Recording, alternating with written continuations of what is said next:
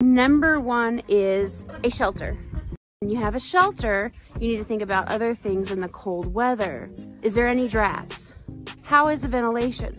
Do you have enough bars or roosts for them to get up on at night or are some still on the ground during the night?